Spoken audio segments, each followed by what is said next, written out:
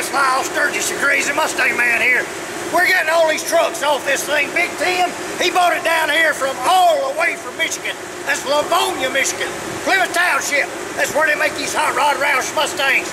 This one right here, pre-sold to my man Buster. Buster and his bride bought this ride.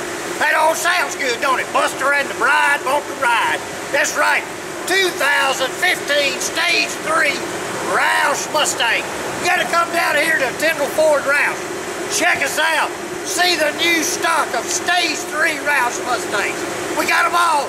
He's gonna back it off. It's looking good, like a cigarette should. Woo!